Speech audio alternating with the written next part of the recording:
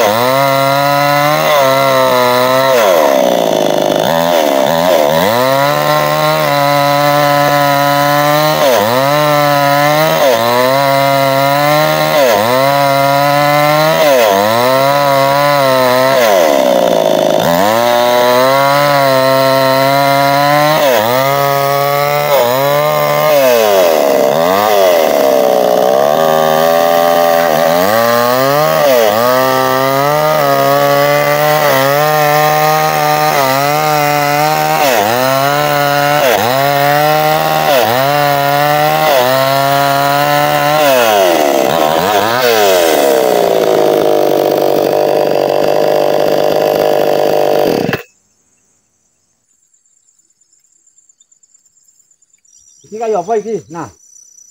Kayu godhong kaya kayu anu. Kayu apa iku? Nah, bang. Nah.